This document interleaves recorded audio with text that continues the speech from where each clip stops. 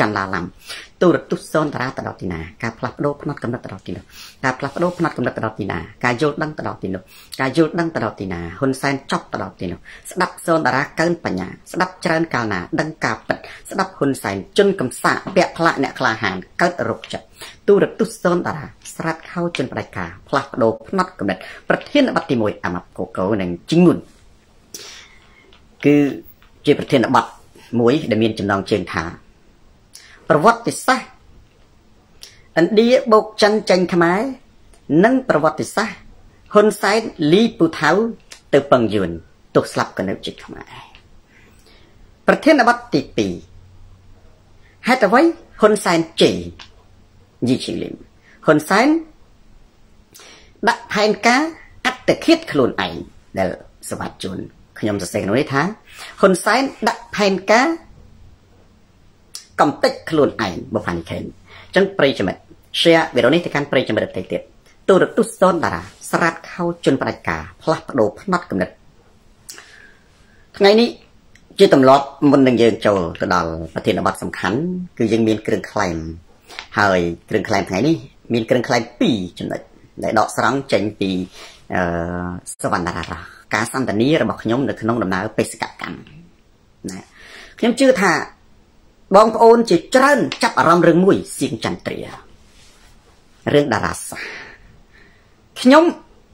នៃគ្រឿងក្លែងទី1បានធ្វើដំណើរទៅជួបបងប្អូនខ្មែរយើងណាសាមូអែលវ៉ាងជាច្រើនហើយស្ទើរតែគ្រប់គ្នាសួរខ្ញុំអំពីតារាសាពិសេសពេលដែលខ្ញុំមកដល់សហរដ្ឋអាមេរិកនេះ មុនឆ្នាំ2023 រយៈពេល2សប្តាហ៍វាថាមួយសប្តាហ៍មុនឆ្លងឆ្នាំមុនឆ្លងឆ្នាំពេជ្រសុខា បងប្អូនយើងជាច្រើន រំលឹកអំពីតារាសាស្ត្រឆ្នាំ2023ពេលដែលចូលដល់ឆ្នាំ2023នៅគ្រប់ទីកន្លែងក៏បងប្អូនណាចំផាត់សង្គ្រោះជាតិរំលឹកអំពីតារាសាស្ត្រឆ្នាំ2023ដដែល ពីមុនគេថាចិត្តដល់ហើយលោកគ្រូឥឡូវនេះគេថាដល់ហើយលោកគ្រូហើយចំណែកសាររបស់គណៈបកប្រជាជនអង្គរិនខ្មែរគេក៏ផ្ចាញ់ដែរគេថាឥឡូវ2023ហើយហើយវាអាម៉េចណាមិនឃើញមានដូចការទុះទាយរបស់សូនតារាផងខ្ញុំគ្រប់គ្នាខ្ញុំក៏ជម្រាបគាត់ថាអញ្ចេះ ខ្ញុំថា នៅក្នុងឆ្នាំ2023បើតាមតារាសាស្ត្រស៊ីនួនច័ន្ទនឹងមានមេដឹកនាំផ្ដាច់ការនៅកម្ពុជាមួយរូបចាក់ចេញពីភពផែនដីមួយតុលា FC និងវីបុលម៉ៅសំណួរដោយបងប្អូនយើងសួរបាញ់មិញខ្ញុំមិនបាច់សួរទៀតទេប្រូវីលៀម សម្រាប់ប្រិយមិត្តទូរទស្សន៍សូនតារាសម្ដេចសេងរតនាឬក៏សម្រាប់ប្រិយមិត្តគ្រប់គ្រងការផ្លាស់ប្ដូរចិនដែលចិនដានីប៉ុន្តែមានសំណួរសំខាន់សំខាន់មួយចំនួន ដែលបងប្អូនណាអាចសួរនិងអាចយកមកធ្វើជាចំណោទបញ្ហា ទី1គេសួរថាលោកគ្រូមេដឹកនាំផ្ដាច់ការគង្ជី ជុំវិញពិភពលោកមិនមែនមានតែខ្មែរទេណាឧទាហរណ៍កេងសូរិយាមានដូចជា ប្រទេសភូមាជាដើមតើហេតុអីសួងឈិនបានជាតារាសាស្ត្ររបស់លោកគ្រូនឹងវាត្រូវសម្រាប់តែប្រទេសកម្ពុជាអានឹងយើងឧបកិច្ចចម្លើយចម្លើយឧបកិច្ចគឺ មានន័យថានៅក្នុងពិភពលោកយើងនេះសម័យឆាំវាធំណាអញ្ចឹងយើងឧបកិច្ចមានន័យថា ជាការកំណត់សម្រួចយកទីតាំងណាមួយហើយយើងយកលេខហ្នឹងទៅភ្ជាប់អានេះជាការឧបកិច្ចរបស់យើងមិនមែននិយាយសកលលោកទូទៅហើយទេបាទខ្ញុំថាចេះពីព្រោះបើនិយាយអំពីសកលលោកទូទៅមកសុកហានគឺយើងអត់ខុសទេ មានន័យថាយើងនិយាយហ្នឹងគឺនិយាយមិនឲ្យខុសហ្មងនៅក្នុងសកលលោកទូទៅប្រទេសណាដែលមានមេផ្ដាច់ការស្លាប់ឬក៏ចាក់ចេញពិភពផែនដីនៅឆ្នាំ2023គឺសូនតារាត្រូវទាំងអស់អញ្ចឹងយើងអត់អត់និយាយជាទូទៅអញ្ចឹងទេអានឹងវាចាក់គេហៅថាចាក់ខ្សែខាងណាក៏ត្រូវប៉ុន្តែយើងឧបកិច្ចសម្រួលវាស៊ូសានអឺបសម្រាប់តែប្រទេសកម្ពុជាមួយទេអញ្ចឹងអានេះគឺជាចម្លើយទី1ពាក់ព័ន្ធជាមួយនឹងការសន្ទនាខ្លះៗដែលថា ហើយចុះហេតុអីបានមេដឹកនាំផ្ដាច់ការណាជាច្រើននៅលើពិភពលោកត្រូវតែកម្ពុជា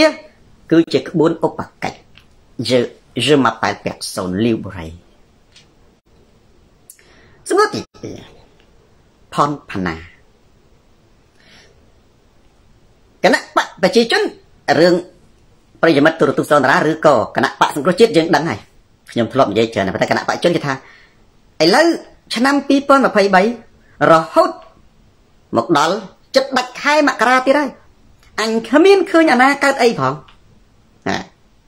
ពេលនោះខ្ញុំបានឆ្លើយប្រាប់គាត់ថាចេះឆ្នាំ2023វាមានពីថ្ងៃទី1មករារហូតដល់ថ្ងៃទី31ខែធ្នូឥឡូវឆ្នាំ2023មានពីថ្ងៃទី1មករាវិរៈសុករហូតដល់ថ្ងៃទី31ខែធ្នូណាអាហ្នឹង យើងអត់តន់ថាទេដល់ទៅពេលនោះទាំងសំណួរវាត្រួតស៊ីគ្នា ទាំងប្រិយមិត្តដែលគ្រប់គ្រងការផ្លាស់ប្ដូរនិងមិត្ត CPP ប្រិយមិត្តដែលគ្រប់គ្រងការផ្លាស់ប្ដូរក៏ថា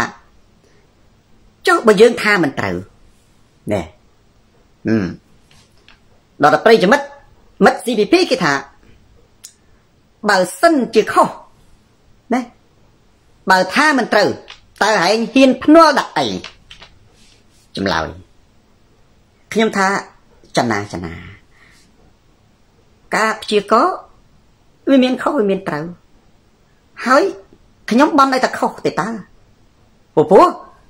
យើងមានចិត្តធម៌មេត្តាបើសិនជាខុសម្ដងក៏មិនទៅអីដែរហេតុអីហាបងប្អូនការព្យាករអត់មានទោសអត់មានកំហុសទេបើយើងខ្លាំងបើយើងព្យាករត្រូវបើយើងមើលត្រូវយើងប្រកែបើយើងមើលខុសយើងអន់គេលែងជឿតែប៉ុណ្្នឹងឯង ឧទាហរណ៍ហ៊ុនសែនគាត់ថាម៉ារ៉ុកបានលេខ3អឺម៉ារ៉ុកបានលេខ4នឹងអមិនក៏មិនយកហ៊ុនសែនដាក់ហ៊ុនសែនថាបារាំងនឹងលើកពីនប៉ុន្តែបារាំងធ្លាក់ពីនចាញ់អាសង់ទីនហ្នឹងអមិនក៏មិនចាប់ហ៊ុនសែនទៅដាក់កូនណាអញ្ចឹងព្យាករនេះណាដែលបងប្អូនយើងខ្លះគាត់ថាចេះបរិទ្ធិទេលោកគ្រូនិយាយមិនដែលខុសសោះមិនខុសសោះខ្ញុំថាអត់ទេខ្ញុំនិយាយខុស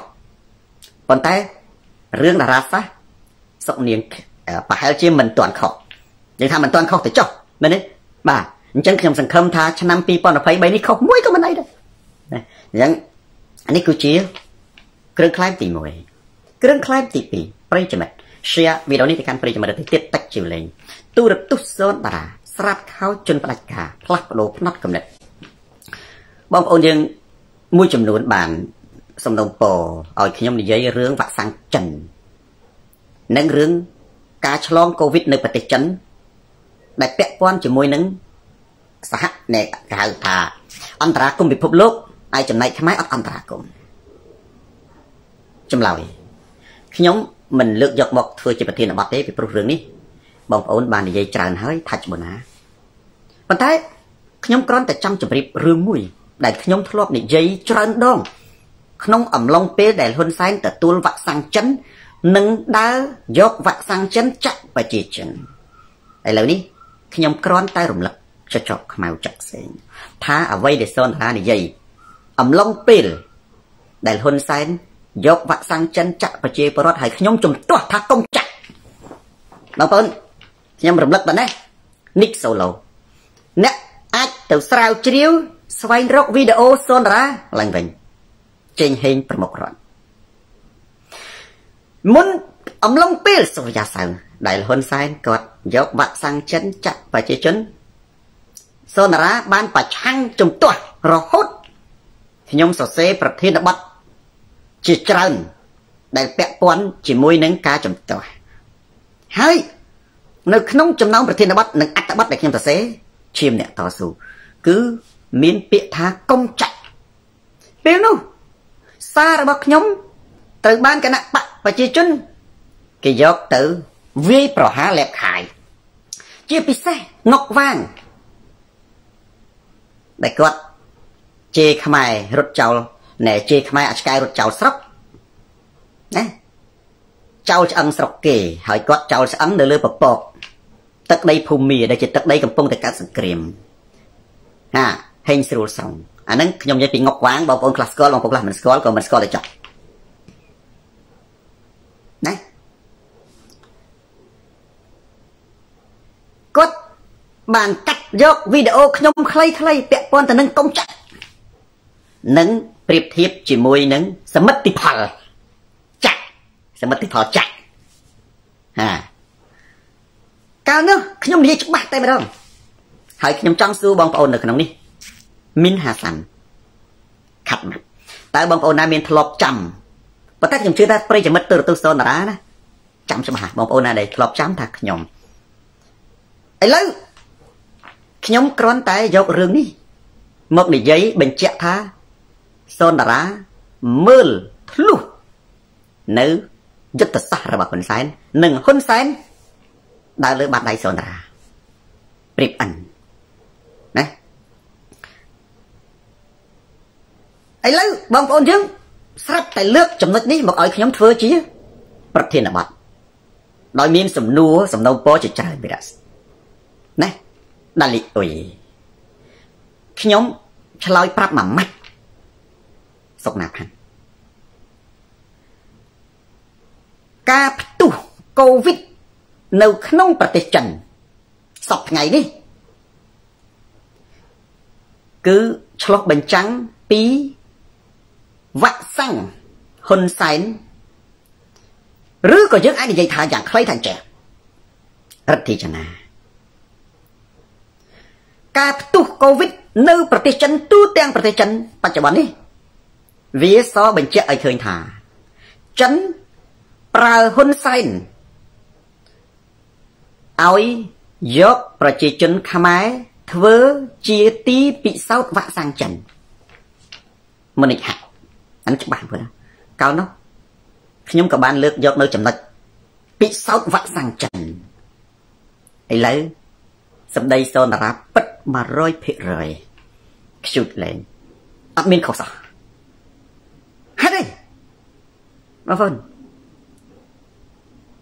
ការផ្ទុះកូវីដនៅប្រទេសចិនបញ្ជាក់ថាវ៉ាក់សាំងចិនឥតមានន័យវ៉ាក់សាំងចិនឥតមានតម្លៃ ដាលីអ៊ុយហាណាផេតគៀងហូវ៉ាក់សាំងចិនឥតមានតម្លៃវាទៅធ្វើឲ្យប្រជាជនចិនដែលចាក់វ៉ាក់សាំងខ្ទេចឆ្លងកូវីដដដែលផ្ទុះដែលពិភពលោកគេស្ងាត់ទៅហើយចិនផ្ទុះម្នាក់ឯងចែកចម្លងគេជាមួយណារមេតាអ៊ុំវាបញ្ជាក់ថា ហ៊ុនសែនយកពលរដ្ឋខ្មែរធ្វើជាទីពិសោធន៍របស់ចិនយកជីវិតខ្មែរធ្វើជាដូចជាសត្វស្វាដូចជាសត្វដេរិឆានសម្រាប់ឲ្យគេចាក់វ៉ាក់សាំងពិសោធន៍កាលនោះខ្ញុំថាកុំចាក់ហឹមបើបងប្អូនមិនចង់ចាក់មហានគរវាបញ្ជាក់ឲ្យឃើញថា នៅប្រទេសចិន ទំនងជា ចិនវាអត់ចាក់វ៉ាក់សាំងនឹងទៅឲ្យប្រជាជនទេ គឺវាយកមកឲ្យខ្មែរចាក់មុនវាមិនដែលវ៉ាក់សាំងឯណាបងប្អូនប្រៀបធៀបមើលវ៉ាក់សាំងអាមេរិកណែ Pfizer ឬក៏វ៉ាក់សាំងអង់គ្លេស Pfizer នឹងវាក្រុមហ៊ុនជាមួយអន្តរជាតិផ្សេងៗដែលចែកចាយជាមួយពិភពលោកគេចាក់ប្រជាជនអាមេរិកអស់សល់បានគេយកបរិច្ចាគតិចតួចទៅឲ្យប្រទេសណែក្រៅ គេអត់លក់អីណាគេប្រើប្រាស់អស់សិនប៉ុន្តែចិនគ្រាន់តែផលិតវ៉ាក់សាំងភ្លាមចែកចាយតារាខណ្ឌបងប្អូនយើងណានៅក្នុងស្រុកខ្មែរឬក៏និយាយថាចែកចាយទៅអ្នកក្រៅប្រទេសមុនបានចាក់ឲ្យចិនតាមក្រោយហើយចាក់ឲ្យចិននេះប្រហែលជាចាក់លួចចាក់បាន2 3នាក់ទេបងនៅក្នុងប្រទេសចិនអត់មានរបាយការណ៍ណានេះដែលនិយាយថាការចាក់ថ្នាំវ៉ាក់សាំងចិននឹងបាន គ្រប់ចំនួនទេអត់មានទេ មានន័យថា ចិនប្រើហ៊ុនសែនឲ្យយកពលរដ្ឋខ្មែរធ្វើជាទីពិសោធន៍ចាក់ថ្នាំបើងាប់ងាប់ខ្មែរទៅមិនងាប់អីហើយយើងមើលឃើញនៅក្នុងស្រុកខ្មែរមានអ្នកខ្លះកើតជំងឺច្រើនណាស់បច្ចុប្បន្នមិនដឹងជាជំងឺកើតចេញមកពី side effect ដែលគេហៅថាប្រតិកម្មថ្នាំហ្នឹងព្រោះថ្នាំកាលណាយើងវាមានអាវុធមុខពីរទៅជាសួតទៅជាថ្លើមទៅជាដាច់សរសៃឈាមណាផ្កាកំពុងធំយើងអត់ដឹងទេចំណុចទី1ដែលខ្ញុំឆ្លើយច្បាស់ថាបើចិនផ្ទុះកូវីដ វាបញ្ជាក់ថាវ៉ាក់សាំងចិនឥតន័យហើយវាបញ្ជាក់ថាហ៊ុនសែនកិនវុនយកពលរដ្ឋខ្មែរចាក់ពិសោធន៍ឆ្នាំចិនច្បាស់គឺថាពុទ្ធសន្តានិយាយតែងតែមានហេតុផលវិទ្យាសាស្ត្រ logic ហេតុអីអាយើងមើលប្រទេសចិនមើលណាឯកសម្បត្តិវិញវិញអានេះចំណុចចំណុចទី2វាអាចចិនវាខូចពេលដែលចប់វិបត្តិកូវីដ ពិភពលោកសេដ្ឋកិច្ចចាប់ផ្ដើមស្ដារឡើងវិញពេលនោះសេដ្ឋកិច្ចចិនចាប់ផ្ដើមធ្លាក់ចុះហើយដើរយឺតពេលហ្នឹងដើម្បីឲ្យគេធ្លាក់ចុះនឹងដើរយឺតដែរត្រូវតែបង្កើតកូវីដនយោបាយកូវីដនយោបាយគឺកូវីដដែលចូលចិត្តលេងដល់ហ៊ុនសែនណាដើម្បីឲ្យពិភពលោកផែនដីសវណ្ណភូមិផ្អើលបិទប្រទេសខាតសេដ្ឋកិច្ចដូចខ្លួនដែរអានេះបើនិយាយពីមនុស្សខូចគេថានេះនេះ បំណាត់មកអញសើមប្រឡាក់ផុកអាធ្វើម៉េចឲ្យអានោះប្រឡាក់ផុកដែរធ្វើធ្វើម៉េចឲ្យអាមួយអាមួយនោះវាប្រឡាក់ផុកដែរអាហ្នឹងខូចនិយាយចឹងខ្ញុំនិយាយរឿងនៅក្នុងទូរទស្សន៍នេះរឿងហ្នឹងមួយយ៉ាងដែរនៅក្នុងនេះស្អីទូរទស្សន៍នេះ CTN ឬ CNN នេះបងប្អូនរឿងកំ pl ែងរឿង logic បញ្ជាក់ពីមនុស្សខូច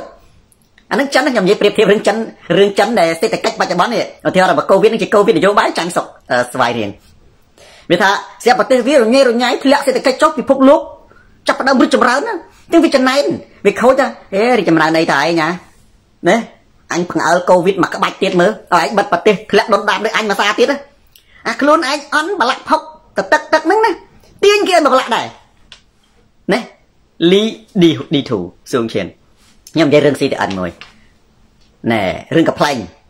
យូរហើយប្រហែលជា2 3ឆ្នាំហើយរឿងហ្នឹងឯងមួយឆ្នាំ2ឆ្នាំហើយរឿងខ្លីៗខ្ញុំជួយចាំមើល រឿងហ្នឹងមានស្រីគាត់ស្រែកចោលប្លន់ម៉ូតូឬក៏ចោលឆក់កាបូបខ្ញុំមិនដឹងនេះភ្លេចហើយ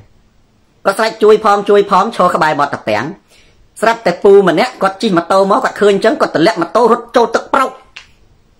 ស៊ីណាតស៊ីណេតជារៀងមកសទុះគាត់ងើបមកវិញសួរថាណាក្មេងនំទឹកម្នាក់ស្រីគាត់កវីក្បាលគាត់ថាពួកឯងឈួតអត់ប្រយោជន៍គិតមរៀលមានក្មេងណាលំទឹក ហើយចុះស្រែកអីស្រែកចោលលួចម៉ូតូចោលវាយកម៉ូតូបាត់ទៅឥឡូវអត់មានន័យទេសមៈសណានឆាំអានោះប្រឡាក់ផុកគ្នាស្មានតែក្មេងលងទឹកជួយផងជួយផងឲ្យរាវដល់តែឃើញអានោះពីរអ្នកនោះដើរមកអានោះវាគិតក្នុងចិត្តថាចំប្រឡាក់ផុកទាំងព្រឹកអាប្រឡាក់អីទៅអញអញចែកឲ្យនោះប្រឡាក់ដែរមើលស្រែកហ្មងមែនទេថាមិនទេអានឹងក្មេងលងទឹកពីរអ្នកបងប្អូនធម្មតាមនុស្សយើងឮសង្គ្រោះជីវិតមនុស្សសំខាន់ណាស់ឮតែក្មេងលងទឹកពីរអ្នកនោះរត់ចូលទឹក ងើបមកទទួលរត់ផ្ទះដៃសោចគេថាឯរកអីចានេះឆេងហើយគេថាក្មេងលងទឹកអានោះតែអត់មានបងវានិយាយលេងណាស្រាប់តែត្រឡប់មកវិញទៅអានោះនឹកឃើញវិញគេថាចំអានេះក៏ហត់អញអញលេងឯងវិញមើលអានេះក្បាច់ចិនណាក្បាច់ចិនវាធ្វើខ្ញុំនៃធៀបហ្នឹងវាថាបាច់ខ្សែក5ដលឹងណាដល់ទៅពេលបាត់ខ្សែក5ដលឹងបងបណ្ណាអើនោះវាធ្វើរៀងបន្តិចទៅវាធ្វើខ្សឹបគ្នាថាតោះ ទៅយកម៉ាស៊ីនបូមទឹកទៅយកម៉ាស៊ីនបូមទឹកណារត់ឃើញរៀងមិនក៏មិនឃើញដែរអានោះលោកអត់មាត់បាត់ទេថាអើឯងយកម៉ាស៊ីនបូមយកត្រីអញយកខ្សែកងើបតែជងើបមួយងើបមួយផុកពេញក្បាលស្រាប់តែពីដល់នោះវានិយាយវិញពួកឯងធ្វើអីរមាសមាសណាវានិយាយលេងហ្នឹងអញ្ចឹងបងប្អូនណាអានេះវាវាឆ្លោះបញ្ចាំងអំពីកំណត់មួយកំណត់ចង់និយាយថាចំណុចទី2ដែលខ្ញុំនៅក្នុងគ្រឿងខ្លែមទេខ្ញុំចង់និយាយថាជួនកាលអាកូវីដចិនហ្នឹងណាកូវីដនយោបាយ ដែលដែលវាធ្លាក់ចុះសេដ្ឋកិច្ចវាចំណែនពិភពលោកវាខ្លាចពិភពលោកដើរទៅមុនវាអញ្ចឹងវាត្រូវតែឲ្យពិភពលោកហ្នឹងផ្អើលឆោឡើងបិទប្រទេសធ្លាក់សេដ្ឋកិច្ចដូចតែខ្ញុំប្រៀបធៀបរឿងនេះកប្លែងនៅ CTN ហ្នឹងអានោះវាប្រឡាក់ផុកសើមទឹកក្នុងតពាំងវាថាសើមអីតអញហ៎អញដើរអាពីរអ្នកនោះសើមដែរលេងពេងសអានឹងរឿងនឹងពិតបងប្អូនណារឿងនេះគឺពិតនៅក្នុង កូវីដនយោបាយទស្សនាបងប្អូនលេងពេញសអានឹងគឺមិនពិតនៅក្នុងវិទ្យាសាស្ត្រនយោបាយនៅក្នុងកូវីដនយោបាយទេប្រិយមិត្ត share វីដេអូនេះទៅកាន់ប្រិយមិត្តដទៃទៀតជន់ពីការឯករាជ្យទូរទស្សន៍សូនបារាស្រាត់ខោជន់ផ្ដាច់ការម៉ាត់ធំផ្លាស់បដូរផ្នត់កំណត់រឿងចិនផ្ទុះកូវីដបញ្ជាក់ថាសារសនរាគឺត្រឹមត្រូវយ៉ាងគួរប្រធានបទទី1ជាប្រធានបទក្តៅមានចេញប្រវត្តិសាស្ត្រដែលខ្ញុំដាក់ចំណងជើងថា ប្រវត្តិសាស្ត្រឥណ្ឌាបុកចិនចេញខ្មែរនិងប្រវត្តិសាស្ត្រហ៊ុនសែនលីបថៅទៅពឹងយួនសំណួរលបងប្រាជ្ញាតនេះប៉ុន្តែមុននឹងចូលដល់សំណួរលបងប្រាជ្ញាម៉ាក់អូនពេជ្រខ្ញុំសូមកោតសរសើរមួយសិនខ្ញុំសូមកោតសរសើរពលរដ្ឋខ្មែរទូទាំងប្រទេសនិងជុំវិញពិភពលោកដែលប្រតិកម្មរឿង ណាឥណ្ឌាបុកចិនចេញខ្មែរប្រវត្តិសាស្ត្រប្របាទហ៊ុនទៀននិងព្រះនាងលាវយីបុរាណចាងអានេះរឿងខ្ញុំខ្ញុំសូមកោតសរសើរអ្នកប្រតិកម្មមានន័យថា អ្នកនោះស្រឡាញ់ប្រទេសជាតិស្នេហាជាតិមិនថាគណៈបកណាទេ កម្ពុជាមានសង្ឃឹមថានឹងមិនបាត់បង់ពេលដែលកូនខ្មែរនៅស្រឡាញ់ទឹកដីមិនមែនស្រឡាញ់ថ្វាយបង្គំបុគ្គលសៅបន្តិចសរសើរតនេះ សរសើររាល់អ្នកប្រតិកម្មនិងអ្នកតេះឌីលគ្រប់គ្នាទាំងអស់ប៉ុន្តែគ្នានឹងគ្នាអត់ចេះគ្នាចេះថាព្រាវព្រាវទៅទេយើងអត់ដាក់កំហុសទេខ្ញុំតែសរសើរអ្នកប្រតិកម្មសំណួរទី1តើប្រវត្តិសាស្ត្រឥណ្ឌាបុកចិនចេញខ្មែរនិងប្រវត្តិសាស្ត្រ ហ៊ុនសែនលីពូថៅទៅពឹងយួនមួយណាជាប្រវត្តិសាស្ត្រពិតអានេះជាសំណួរណានេះដាក់ថាចឹងវិញឥឡូវបងប្អូន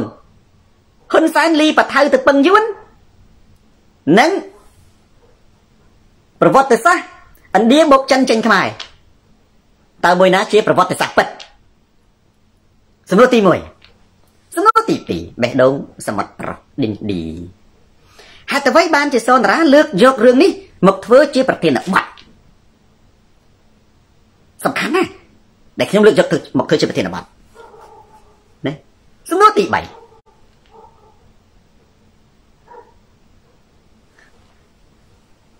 តើ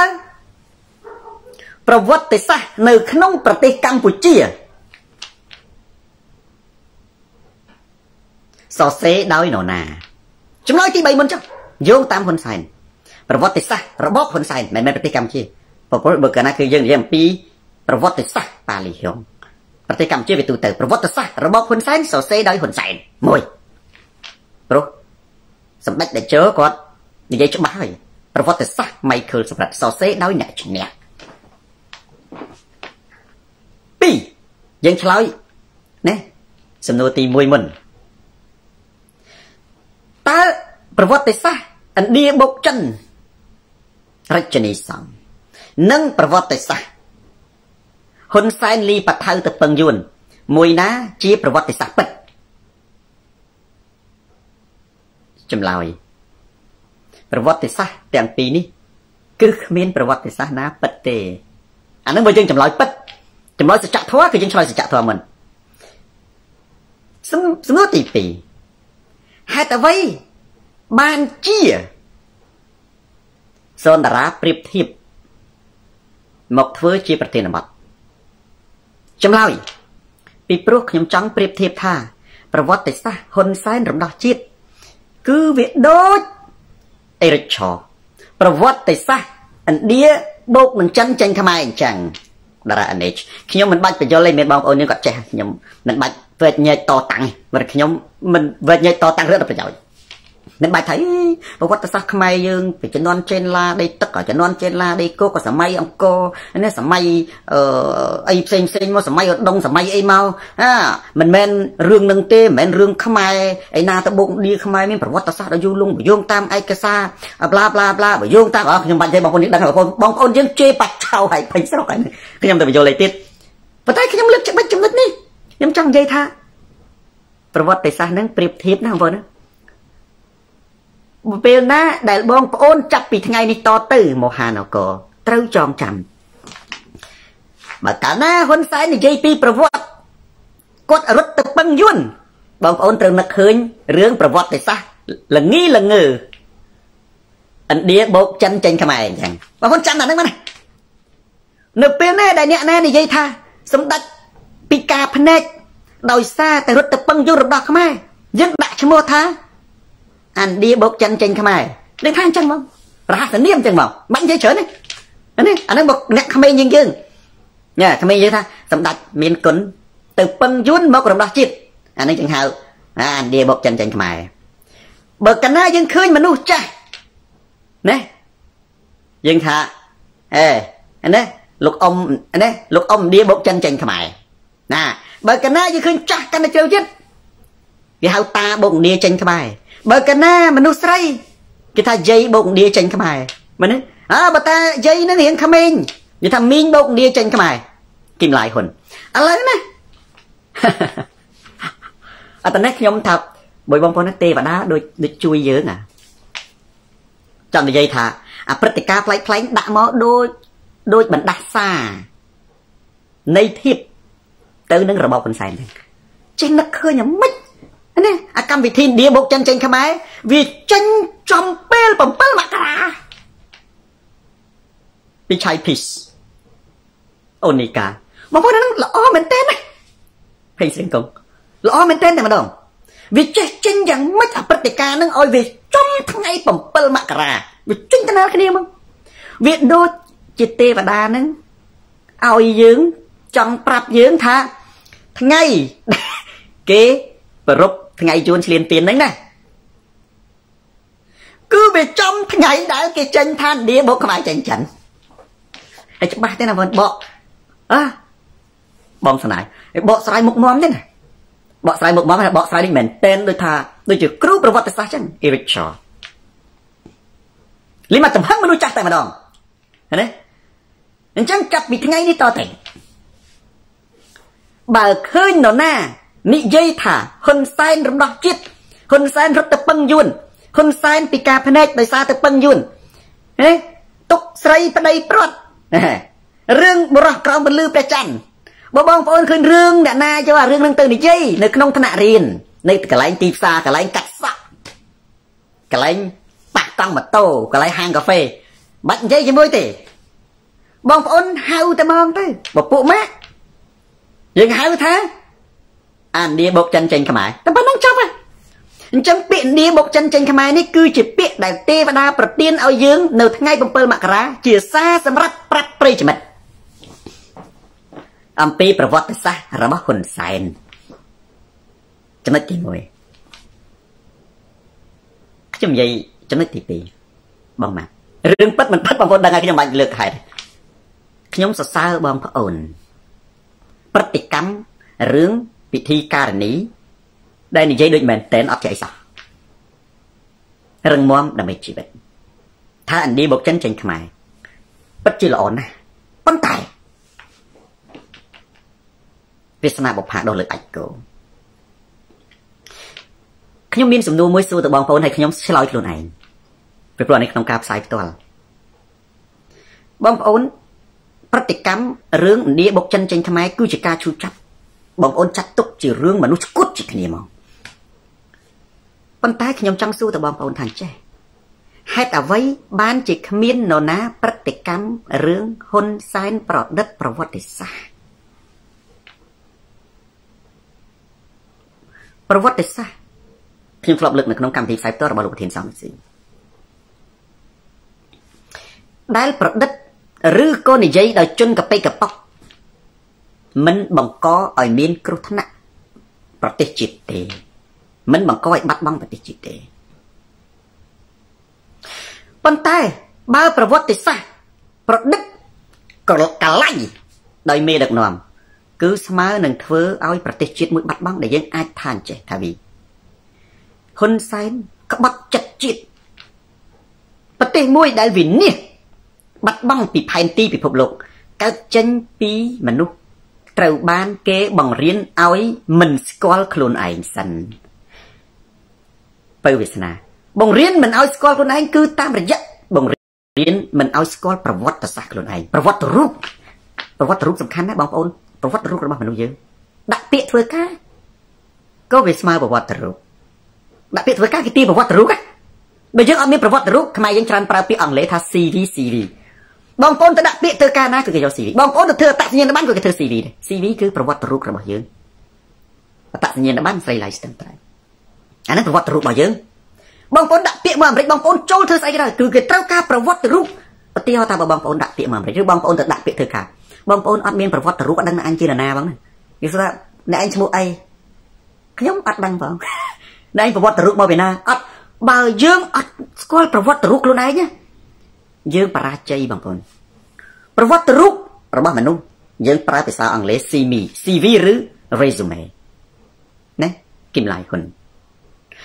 ប្រវត្តិរូបរបស់ប្រទេសជាតិគឺប្រវត្តិសាស្ត្របើយើងមិនស្គាល់ប្រវត្តិរូបរបស់ខ្លួនឯងមានតែយើងជាមនុស្សឈួតបើយើងមិនស្គាល់ប្រវត្តិសាស្ត្រជាតិយើងកំពុងតែឈួតបើមានដឹកនាំបង្រៀនមនុស្សមិនឲ្យស្គាល់ប្រវត្តិសាស្ត្រជាតិពិត គឺមានន័យថាកំពុងតែបង្រៀនមនុស្សឲ្យឈួតណាសមត្ថជាសំណួររបស់ខ្ញុំខ្ញុំសូមអរគុណនឹងណាជឿជាក់ទៅលើទឹកចិត្តរបស់បងប្អូនស្គាល់អំពីប្រវត្តិសាស្ត្រពិតនិងខ្ញុំសូមកោតសរសើរចំពោះការប្រតិកម្មប៉ុន្តែជាសំណួរមួយដែលខ្ញុំសួរទៅកាន់បងប្អូនទៅវិញហើយខ្ញុំនឹងឆ្លើយខ្លួនឯងដែរ rationage បងប្អូនប្រតិកម្មទូទាំងប្រទេសឈឺចាប់នឹងប្រវត្តិសាស្ត្រនីបុកចិនចេញខ្មែរហេតុអីបានជាបងប្អូន មិនប្រតិកម្មរឿងហ៊ុនសែនប្រឌិតប្រវត្តិសាស្ត្រហ៊ុនសែនប្រឌិតប្រវត្តិសាស្ត្រគឺជាការក្បត់ចិត្តជាតិជាការបំផ្លាញប្រវត្តិរូបកម្ពុជាបងប្អូនដឹកនាំប្រទេសទៅកាន់វិនិច្ឆ័យឲ្យក្មេងមិនស្គាល់ជាតិសាសន៍របស់ខ្លួនឯង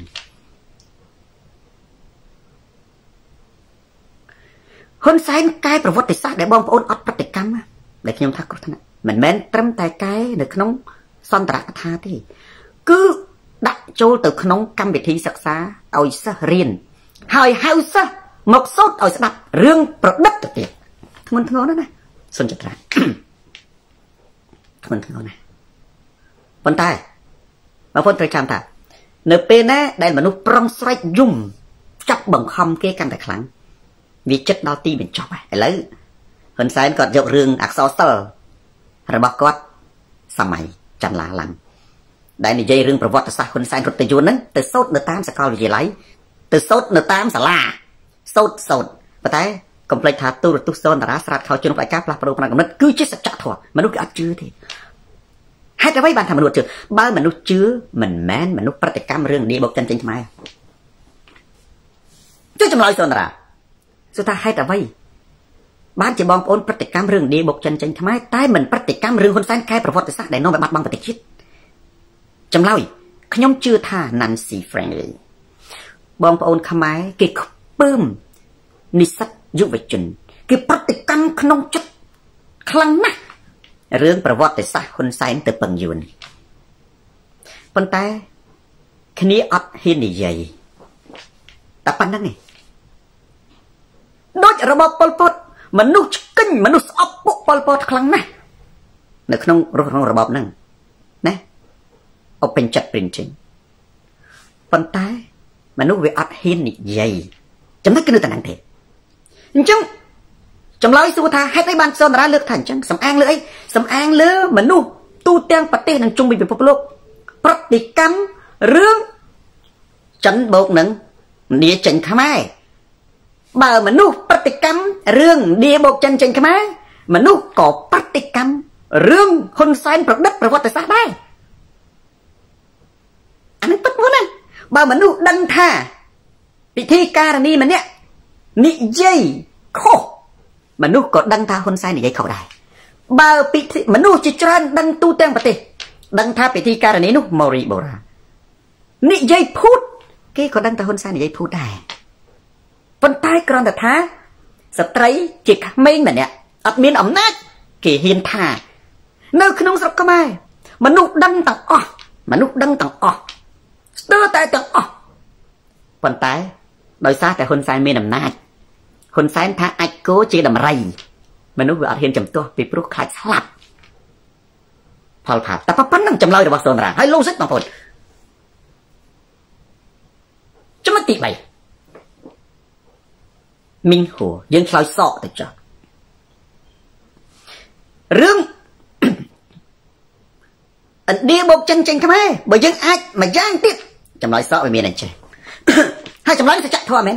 សច្ចធម៌មានន័យថាប៉ារ៉ាឌីឡាឡាវាឆ្លុះបញ្ចាំងអំពីតថភាពនៃរបបហ៊ុនសែនបើគេសួរថាហេតុអីបានជាមានក្មេងៗជំនាន់ឥឡូវនិយាយថាឥណ្ឌាបុកចិនចេញខ្មែរប្រវត្តិសាស្ត្រ ចម្លើយបងប្អូនយើងអាចថាមកពីវារៀនប្រវត្តិសាស្ត្រសរសេរដោយហ៊ុនសែនអញ្ចឹងយើងអាចនិយាយបានថានៅក្នុងប្រទេសកម្ពុជានិស្សិតបច្ចុប្បន្នយុវជនជំនាន់នៅក្នុងរបបហ៊ុនសែនគឺចេញមកដូចគេនិយាយក្នុងទូទស្សន៍ចឹងដូចគេនិយាយនៅក្នុងវិទ្យុអញ្ចឹងអាការដែលពួកគេនិយាយរឿងទាំងអស់ហ្នឹងវាជាផលដែលចេញពីសាលាហ៊ុនសែន អញ្ចឹងសាលាហ៊ុនសែនហ្នឹងគឺផលិតបានឌីបុកចិនចេញខ្លាំងមួយទៀតបងប្អូនយើងក៏អាចសកថា Sophie Church បើសិនជា ប្រវត្តិសាស្ត្រនេះវាដូចបេះបិទទៅនឹងប្រវត្តិសាស្ត្រហ៊ុនសែនរដ្ឋពឹងលីបថៅរដ្ឋពឹងយួនអាហ្នឹង យើងអាចថានីបុកចិនមិនមែនចេញខ្មែរទេព្រោះធម្មតារូបមន្តតែបើកណាខុសចេញចម្លើយខុសប៉ុណ្ណារូបមន្តកណាខុសចេញចម្លើយខុសអញ្ចឹងបើរូបមន្តនឹងខុសចេញចម្លើយខុសនីវាបុកចិនវាចេញហ៊ុនសែនមិនត្រូវមិនចឹងហ៊ុនសែនប្រឌិតប្រវត្តិសាស្ត្ររូបមន្តខុសចម្លើយខុសនីបុកចិនណាចេញហ៊ុនសែនអានឹងត្រូវបើថាបណ្ឌីបុកចិនចេញខ្មែរអានឹងបងប្អូនអាចវិនិច្ឆ័យខ្លួនឯងហើយមួយឥឡូវខ្ញុំ ចំណុចចុងក្រោយក្នុងប្រធានបទទី1នេះមុននឹងយើងឈានចូលទៅដល់ប្រធានបទទី2អត់មានគណៈបកប្រជាជនណាអាចឆ្លើយបានរហូតមកទល់ឥឡូវបើមានខ្ញុំដើរស្រាតខ្ញុំចូលស្រុកខ្មែរខ្ញុំលូនពីពលានយន្តហោះរហូតដល់វាមានឯករាជ្យបើមានសនរាដែលស្រាប់ហើយលូន ពីប្រលានយន្តហោះភ្នំពេញពោធិ៍ចតុងទៅដល់វាមានឯករាជ្យខ្ញុំនិយាយថា នៅលើពិភពលោកជាងនេះ ការលើកតបធ្វើសង្គ្រាម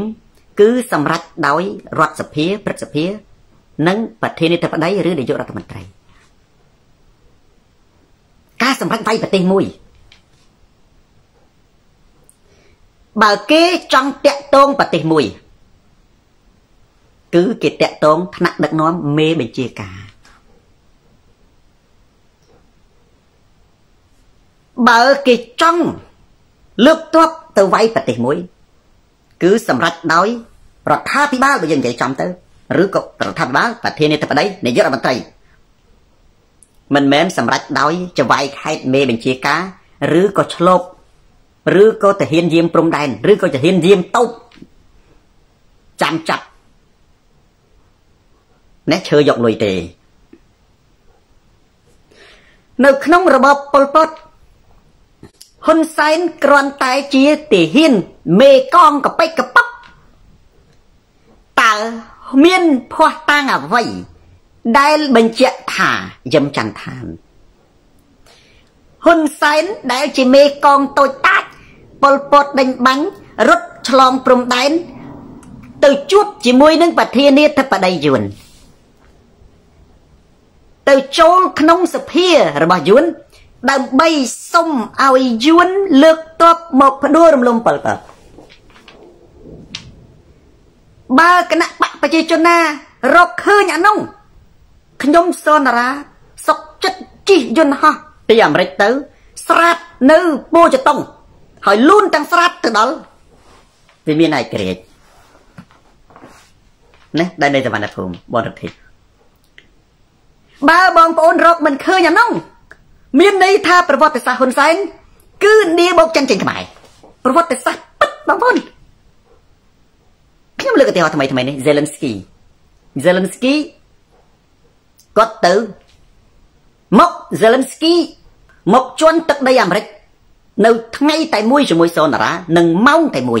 ម៉ោងពេលតែមួយមិនមែនម៉ោងដូចគ្នាទេពេលព្រឹកមុនម៉ោង12គាត់មកដល់ទឹកដីអាមេរិក ខ្ញុំមកដល់ទឹកដីអាមេរិកក្នុងខ្ញុំទៅសេប្រធានបတ်ណាច័ន្ទលូលូប៊ុនច័ន្ទលូលូអ៊ុយក្រែនប្រធានាធិបតីអ៊ុយក្រែនសេលិនស្គីត្រូវបានអាមេរិកអញ្ជើញមកចូលហើយគាត់បានថ្លែងសារនៅក្នុងរដ្ឋសភារបស់អាមេរិកដើម្បីសុំការគ្រប់គ្រង Zelensky ពេលសង្គ្រាមភ្លាមៗត្រូវបានគេជួបតាម video conference ជាមួយនឹងសហភាពអឺរ៉ុប27ប្រទេស6ជាងអានហើយគាត់បានថ្លែងសារដើម្បីសុំឲ្យអន្តរជាតិ Zelensky ត្រូវបានគេចេញ ចូលប្រជុំទៅក្នុងអង្គការសហប្រជាជាតិតាម video conference ចំនួនហ៊ុនសែនចំនួនអាប៉តរកតែបាយស៊ីមិនទាំងបានផងរកតែស្បែកជើង Facebook ទៅកើតឆ្នាំ2008 2000 8 2009នេះតើទៅតែពេញនិយមចាប់ពីឆ្នាំ2010ទៅតែពេញនិយមខ្លាំងចាប់ពីឆ្នាំ2011 12នេះទេចំនួនណាពតមានទូរស័ព្ទឯណាស្គមថាឡើយទូរស័ព្ទមានខ្សែអាទូរស័ព្ទដុំថ្មក៏អត់មានផង ចំនួនណាពតវាសនាអាតូមីមានមិនថានៅស្រុកនេះពិភពលោកអត់មានមានប្រជាជនឯណាមាន Facebook មាន video conference ដែលអាចឲ្យហ៊ុនសែននឹងផ្សាយបន្តផ្ទាល់ពីសមរភូមិប្រយុទ្ធជាមួយអាប៉ុតទៅរដ្ឋសភាវៀតណាមដូច Zelensky តើរដ្ឋសភាវៀតណាមគេអញ្ជើញហ៊ុនសែនគេអត់ស្គាល់ទេណាគេស្គាល់ហ៊ុនសែនកូនកងកពិកកប៉ុកយួនមានមានស្គាល់ហ៊ុនសែនទេវា យួនវាស្គាល់សុនសេនវាស្គាល់ខៀវសំផនវាស្គាល់អៀងសារីវាស្គាល់មេបញ្ជាការធំធំឯណោះអានេះយួនស្គាល់ហ៊ុនសែនហ្វូនឥឡូវខ្ញុំសួរហ៊ុនសែនមើលណាសួរឥឡូវឆ្លើយភ្លាមណាតើតើនៃមេបញ្ជាការស្រុកមួយ នៅខេត្តសរិនឈ្មោះអីសាច់គាត់ហ៎ឥឡូវខ្ញុំសួរមើលហ្នឹងគាត់ស្គាល់ឯគាត់ ក៏លោកគាត់និយាយគាត់ចង់ឈ្នះសន្តារាគាត់ទៅធ្វើការសិក្សាស្រាវជ្រាវណាចង់ចង់នេះសន្តារាយូរនេះណាទៅស្គាល់ហ៊ុនសែនបងហើយណាឥឡូវនេះខ្ញុំឲ្យមិនបាច់ចាំហ៊ុនសែនដោះផ្លាកយន្តត្រីមកឥឡូវនេះចង់ពិសោធន៍មើលខ្ញុំឲ្យហ៊ុនសែនណាកុំឲ្យមានអង្គរៈដើរចូលព្រំដែនយួនពាក់ម៉ាស់កុំចូលតាមច្រកគេឆែកប៉ាសពតចូលផ្លូវកាត់រត់ចូលយួនបាញ់ងាប់ផ្លូវហ្នឹង ចាំតែរត់ដល់ប្រធានាធិបតីឯតើយួនបាញ់ងាប់បងប្អូនណាបើថាយួនមិនបាញ់ណាក៏យួនពត់ចាប់វាយខ្នោះបើកមុខទៅបើថាហាមុខពីណានេះចេះអ្នកទៅចកាយួនណែបងប្អូនលើពិសោធន៍មើលមើលមិនចាំបាច់ទេចំនួនសង្គ្រាមរត់តែតឹងជាងនឹងទៀតចំនួនឥឡូវអត់មានសង្គ្រាមទេយួនអាចចាប់បានចាប់ឆែកយកលុយយកអីហើយបញ្ជូនយើងមកវិញ កាលពីចំនួនសង្គ្រាមប៉ុលពតនិងវៀតណាមអ្នកណារត់ចូលព្រំដែនណាណាគេបាញ់គ្រិបនៅខ្មែរយើងនៅជំរំខាវិដងជំរំសាយធូសាយប៊ីណាអ្នកដែលគេហៅថាដូចមានបុណ្យកសលផលបុណ្យរត់ចូលជំរំហ្នឹងអ្នកខ្លះក៏រត់ទៅអ្នកខ្លះក៏ថៃបាញ់រៀបតាមផ្លូវទៅបងប្អូនអ្នកខ្លះរត់ទៅថៃវាចរចាជាមួយអង្គការសហជីវជាតិត្រូវវាដឹកយកមកចាក់នៅជើងភ្នំវិញអាណាមិនទៅបាញ់រះធ្លាក់លើភ្នំទាំងអស់នៅចំនួនសង្គ្រាមនៅតាមព្រំដែនវៀតណាមហ្នឹងគាត់តែឃើញមនុស្សបាញ់ចោលទាំងអស់ រឿងអីមនុស្សកប៉ៃកពុកមេកងហ៊ុនសែនហ្នឹងរត់ទៅពឹងយួនអានឹងដែលខ្ញុំនិយាយថាអូអ្នកពិធីកល្អខ្ញុំអរគុណដែរដែលលើកអាទ្រឹស្ដីឥណ្ឌាបុកចិនចេញខ្មែរចំថ្ងៃ7មករាដូចបកអាក្រាតហ៊ុនសែនហ្នឹងឥឡូវខ្ញុំសួរបងប្អូនមើលមើលឥឡូវនេះស្រុកអត់សង្គ្រាមមិនអាចបោះខ្លួនប្រាប់បើមិនជឿឲ្យសម្ដេចមែនទេក៏មានអង្គរៈ ពាក់ម៉ាស់ពាក់វ៉ែនតាខ្មៅរត់ចូលព្រំដែនយួននៅបវត្តមើលកុំរត់ចូលតាមច្រកដែលគេឆែកប៉ាសពតរត់ចូលតាមច្រកព្រៃដូចជំនាន់សង្គ្រាមមានឆែកប៉ាសពតណាគ្រាន់តែប៉ាសពតមិននឹងមានផងតើហ៊ុនសែនរត់ឆ្លងកាត់ទៅហ៊ានយាមតោកព្រំដែនយួនទេវាមិនដែលទៅហ៊ានយួនតោកព្រំដែនយួនទេណារត់ទៅចាប់ហ៊ុនសែនបញ្ជូនទៅរដ្ឋសភាបញ្ជូនទៅជួបប្រធានាធិបតីពឹងថាអោប្រធានាធិបតីអស់រដ្ឋសភាហើយអ្នកស្រែចូលក្រុងឥឡូវនេះប្រទេសកម្ពុជាកំពុងតែជួប នៃវិបត្តិធ្ងន់ធ្ងរណាស់របបប្រល័យពូជសាសន៍ប៉ុលពតសូមវៀតណាមលើកតបមកជួយខ្មែរផងអើដល់ថ្នាក់នឹងផងក្នុងនាមវៀតណាមជាអ្នកកាន់ព្រះពុទ្ធសាសនាដូចគ្នាជាមួយខ្មែរយើងមានការជួចាប់ណាស់ដែលពួកប៉ុលពតសម្រាប់ខ្មែរដូច្នេះយើងត្រូវណែតែជួយហ៊ុនសែនណែដែលរត់ប្រឡាក់ផុកផងប្រឡាក់អាចគោផងរត់តាំងពីព្រំដែនរហូតមកដល់ចូលផ្ទះចូលដល់ផ្ទះនាយករដ្ឋមន្ត្រីចូលដល់ផ្ទះប្រធាននាយករដ្ឋមន្ត្រីឬក៏ចូលដល់វិមានរដ្ឋសភានឹងជួយយកគាត់ទៅងុយទឹកហើយយើងលើកដបទៅវាយប៉ុលពតភ្លាមផ្ទះដៃវាមិនដែលអ្វី វាមិនដែលឥឡូវហ្នឹងខ្ញុំឲ្យថាទៅទៀតបើថាពីមុនវាថាមិនដែលឥឡូវសាក់ឥឡូវហ្នឹងក៏បានសាក់ឥឡូវហ្នឹងណាក៏បានប៉ុន្តែខ្ញុំចង់ឲ្យអ្នកនឹងដឹងច្បាស់ឲ្យហ៊ុនសែនរត់ទៅឆ្លងព្រំដែនឬកុំចូលព្រំដែនហើយកុំកុំផ្លូវការរដ្ឋណារត់ទៅបបបបបបបបបយូរនៅប្រុងបាញ់ដែរថាបាញ់ស្អីទេស្ដោះទឹកមាត់ក៏ដួលដែរមកឲ្យពេចភ្លុកពុះដោយតាចិញ្ចក់តាចិញ្ចក់នឹងចៅអមិតធីតាតៅចាតាចិញ្ចក់គាត់ដៃជើងទុយទុយក្បាលពុះធំអានេះ Stanley Dan ឥឡូវខ្ញុំឲ្យរត់ទៅ ឆ្លងព្រំដែនទៅណាបើថាបើយួនមិនបាញ់ទេយួនទៅចាប់យួនទៅចាប់បើកម៉ាស់មកព្រោះណាចកាលវាអាចសន្តានាឃ្លាញបើកម៉ាស់មកវាថាអើអញដុតធ្លាប់ស្គាល់វាអាចថាអញ្ចឹងអញ្ចឹងសម្ដេចណាគាត់ថាខ្ញុំហ៊ុនសែនយល់ថាអត់ស្គាល់ទេហ៊ុនសែនណាណែដល់តែពេលវាមើលទៅអូមិនក៏មកច្រកនឹងវិញហេ ចង់រត់ទៅស្រុកយួនណែរត់ទៅស្រុកយួនអត់បានទេជាហៅតាគេចាប់ឲ្យទៅសរសេរលិខិតផ្លូវការដើម្បីឲ្យរដ្ឋាភិបាលយួននឹងឆ្លើយតបហើយបើហ៊ុនសែននាយករដ្ឋមន្ត្រីមិនគេអញ្ជើញទៅផ្លូវរត់គេមានស្រីស្រីស្អាតស្អាតឲ្យកម្រងផ្កាបើថាអញ្ជើញមករត់តាមព្រំដែនអញ្ចឹងមិនបានខ្ញុំចង់ឈ្នះសូនារាវាថាជំនាន់អពតណាខ្ញុំមេកងតូចរត់ដល់ជួបដល់ប្រធានាធិបតីយួននេះខ្ញុំនឹងហើយឃើញអត់ខ្ញុំរត់បលាក់ផុកអា ទៅពឹងយួនឲ្យមកវាយខ្មែរខ្ញុំចង់បញ្ជាក់ប្រាប់បងប្អូនថាវាប៉ិតអើយបងប្អូនអើយបងប្អូនអើយចុះប៉ិតទៅយ៉ាងម៉េចប៉ិតរឿងហ៊ុនសែនអាពតដេញបាញ់រត់ចោលស្រុកយួនចាប់ដាក់គុកយួនវាវាយកាន់កាប់ប្រទេសកម្ពុជា ទៅរើសមនុស្សដែលវាចាប់ដាក់គុកយកមកបន្ទប់ឲ្យដឹកនាំជំនួសយួនត្រូវឥឡូវកេញបងប្អូនហ្នឹងអត់ទេបងប្អូនមួយនេះខឹងសូនតារា និយាយប៉ុន្តែសួរតើបងប្អូនចង់ខឹងការពិតឬក៏ខឹង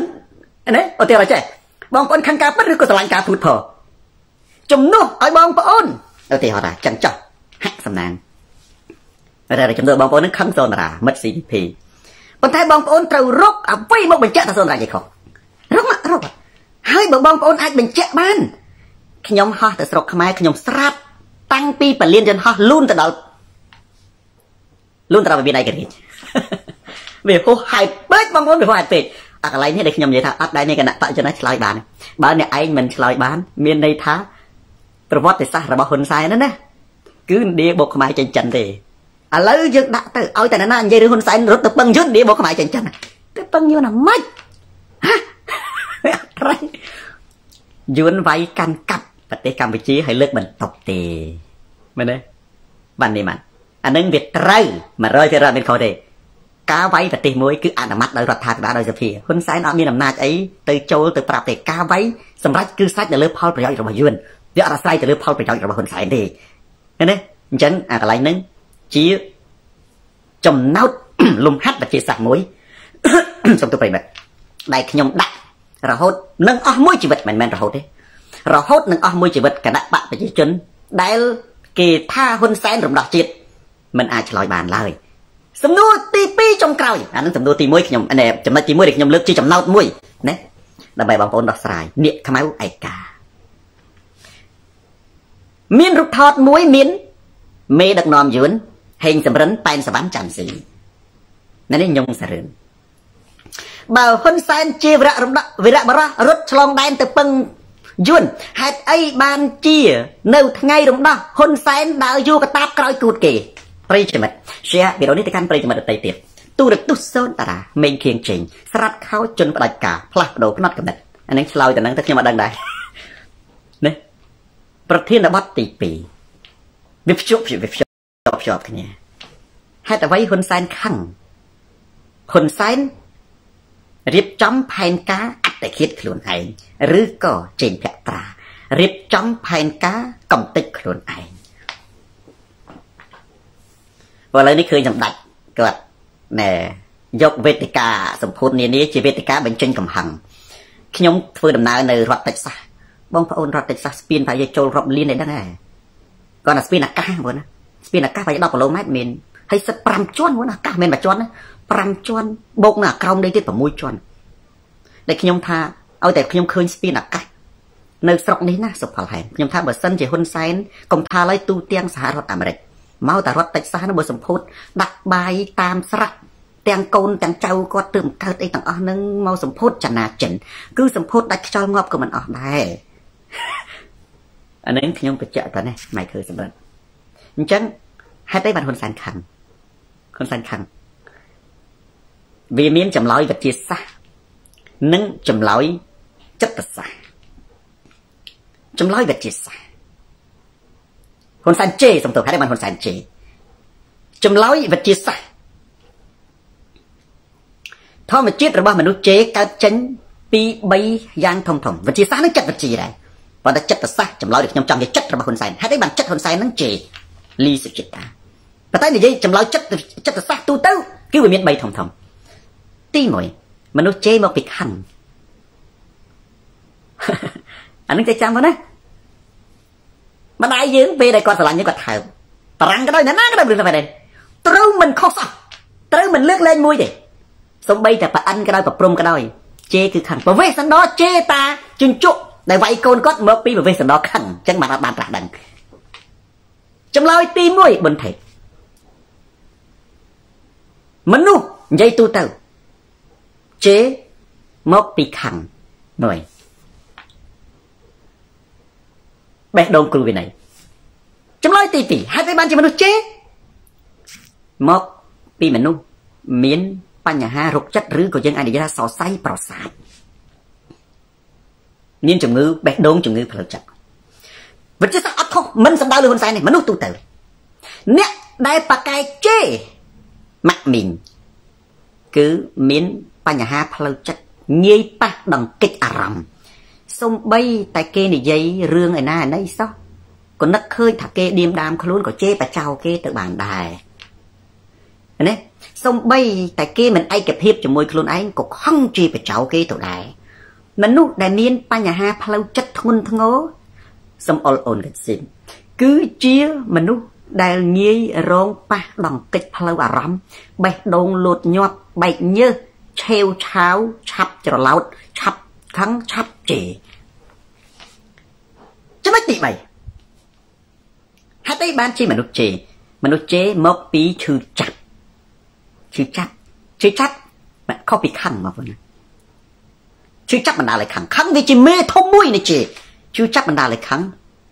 មនុស្សសរសៃប្រសាទប៉ះនឹងកិច្ចផ្លូវអារម្មណ៍បណ្ដាលឲ្យខឹងសរុបទៅអានឹងវាទាញទៅខឹងទាំងអស់វាទាញទៅខឹងទាំងអស់ហើយនេះបានមនុស្សជេរ fantastic រតនារតនីដោយសារមនុស្សខឹង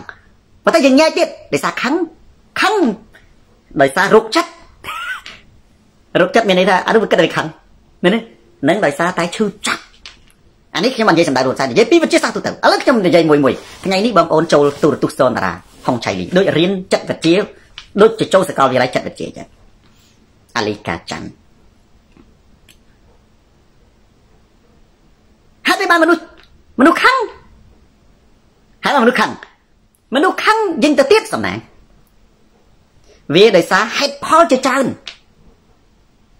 មិនបានដូចបំណងក៏ខឹងទាស់ចិត្តក៏ខឹងគេនិយាយត្រូវចាក់ចំបេះដូងក៏ខឹងអានេះខឹងខ្លាំងអីទៀត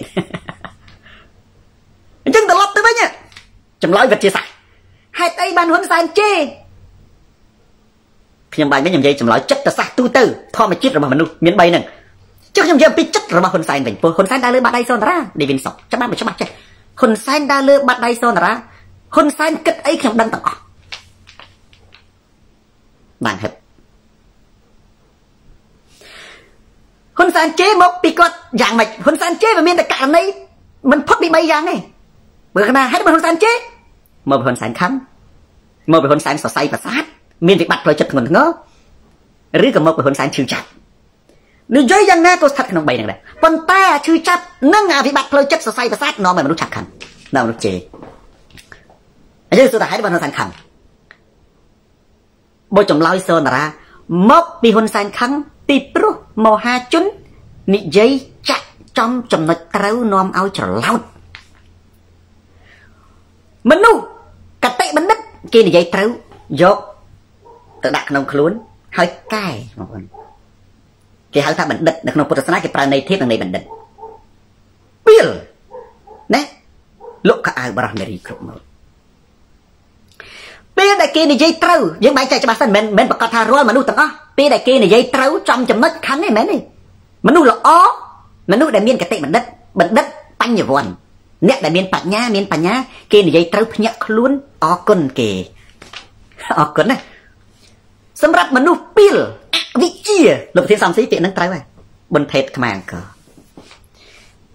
ពេលគេនិយាយត្រូវច្រឡោកខឹង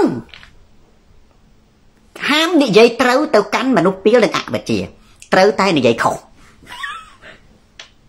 ចឹងចម្លើយចិត្តហ៊ុនសែនដែលហ៊ុនសែនជេរគេប៉ាត់ណាប៉ាត់ណេមកពីសម្ដេចខឹងមូលហេតុដែលបានសម្ដេចខឹង មកពីគេនិយាយចាក់ចំបេះដូងហើយចុះមកគេនិយាយចាក់ចំបេះដូងមិនក៏គាត់មិនកែមកពីគាត់បយោងតាមលោកធានសំស៊ីជាពីលនិងអវិជ្ជាមិនចឹងលីសំណាងឥឡូវយើងត្រឡប់ទៅពីលនិងអវិជ្ជាវិញលើកឧទាហរណ៍បានដឹងណាថាហេលោកគ្រូអញ្ជើញចឹងដូចមិនត្រូវទេមិនសូវត្រូវទេដល់ឧទាហរណ៍ច្បាស់ឧទាហរណ៍ថាបងប្អូនមនុស្សយើងហាមនិយាយពិត រឿងមួយរឿងមួយចំនួនដែលខ្ញុំលើកថានិយាយត្រូវ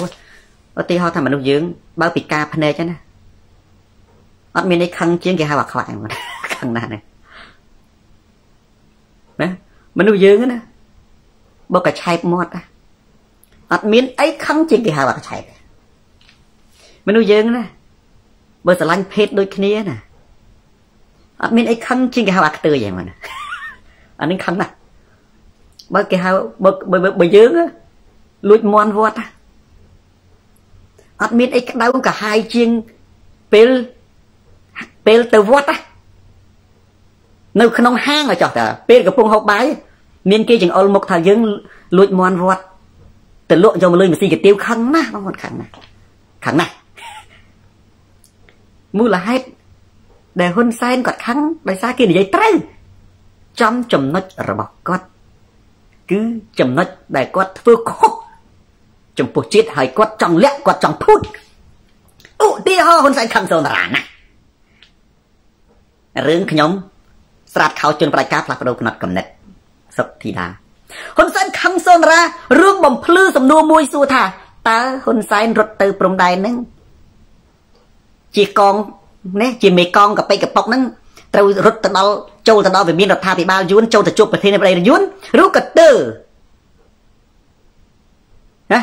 ត្រឹមត្រឹមតែហ៊ានព្រំដែនយាមតោកយួន